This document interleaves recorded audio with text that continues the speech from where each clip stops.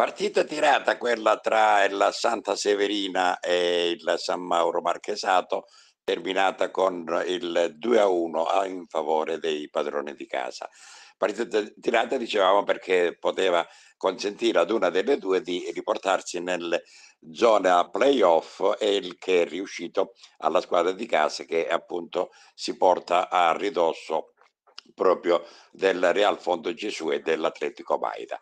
Eh, partita eh, decisa dai gol di Jallov nel primo tempo per quanto riguarda il Santa Severina, poi c'è stato il pareggio da parte di Palermo del San Mauro e il gol finale di Affatato eh, che consente proprio alla Santa Severina di venire a capo eh, di questa partita per 2 a 1. Un risultato importante, come dicevamo, proprio per la classifica di entrambe.